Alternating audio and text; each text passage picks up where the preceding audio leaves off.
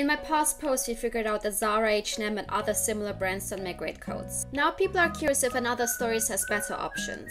Firstly, I took a look at the Renault Manteco coat. So many fast fashion brands have started using Manteco as a wool provider, but I will get into it in another video. Anyways, this coat has a very pleasing thickness. It has clear lines and a very nicely tailored shape. With a full lining, non-fake flap pockets, and 70% wool, I think it's a very decent coat. The additional 30% of polyester provides the coat with some extra durability, so I'm okay with that. For 175 pounds, I think it's a decent price. Moving on to the non-Manteco coats, and there's a significant difference. The first coat, priced at 225 pounds, displays a crooked top stitch on the belt, unraveling buttonholes, and a seam on a binding with a drunken stitch. The lining is also slowly developing a hole. But hey, it's 100% wool. This shows materials are not everything. Second coat is the same price as the Manteco coat, but it consists mostly of polyester. It has only 21% wool. The buttons are already trying to escape, and the top stitch on the pockets is so bad.